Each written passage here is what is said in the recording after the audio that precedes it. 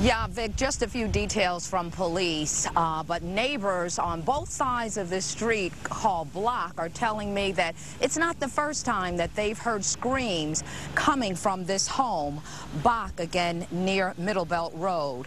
However, the ones that woke them up last night about, well, 3 in the morning, actually, they were the prolonged screams of a woman, and they heard those screams both inside and outside this home.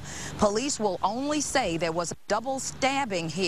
They are holding back the conditions of the victims, their genders, and whether they happen to be any of the people known to have lived in this home for about 15 years. Police do say they're looking for a person of interest. They know that person's name, but they will only describe him as a white male teenager.